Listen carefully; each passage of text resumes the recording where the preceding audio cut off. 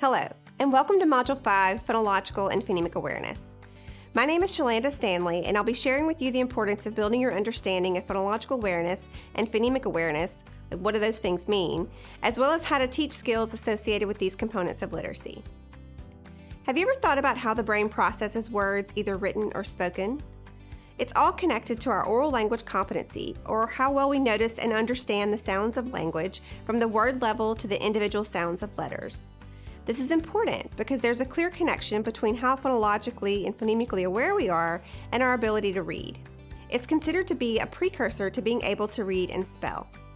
In this module, you're going to learn how to explicitly teach strategies focusing on sounds, what we hear, and the ability to produce, make those sounds, and manipulate those oral sounds using specific instructional strategies. We will begin with the word level, for example, noticing how many words are in sentences, to the syllable level, all the way down to the individual sounds and words.